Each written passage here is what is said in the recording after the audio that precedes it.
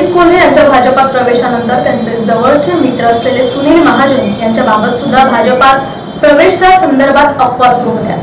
मात्र मी आधीपासूनच दादांचा कार्यकर्ता होतो आणि दादांचाच कार्यकर्ता राहील अशी स्पष्टोक्ती सुनील महाजन यांनी ईव्हीएम न्यूजशी बोलत असताना व्यक्त केली. निवडणुकीच्या पार्श्वभूमीवर सर्व उमेदवारांनी महापालिकेत उमेदवारी अर्ज दाखल करण्यास सुरुवात केली होती. यामध्ये काल माजी उपमहापौर सुनील महाजन यांनी सुद्धा आपला उमेदवारी अर्ज आपल्या पत्नी जयश्री महाजन यांच्यासह दाखल केलाय. ललित कोल्हे यांच्या भाजपात प्रवेशानंतर त्यांचे जवळचे मित्र असलेले सुनील महाजन यांच्या बाबत सुद्धा भाजप प्रवेशासंदर्भात अफवा सुरू होत्या. परंतु मी आधीपासूनच दादांचा कार्यकर्ता आहे आणि दादांचाच कार्यकर्ता राहील असे ईव्हीएम न्यूजशी बोलताना सुनील महाजन यांनी म्हटलंय. तसंच त्यांनी शिवसेनेकडून यावेळी मनपात अर्ज दाखल केला.